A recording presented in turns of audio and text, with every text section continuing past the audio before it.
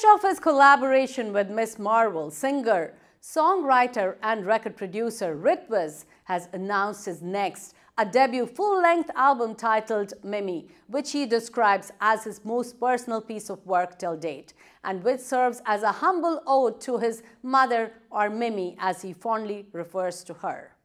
The nine-track compilation is not only inspired by his childhood reminiscences, but also pivots around the close bond he shares with his mother, who features as a vocalist and a lyricist on the Indian pop artist's upcoming release. Together, the mother-son duo impeccably navigates through the exploration and acknowledgement of their unique perspectives and notions of love, where their individualistic musical sensibilities. The album makes an earnest attempt to establish how life has come to a full circle for the 26-year-old who has always attributed his great success within the music industry to his supportive parents.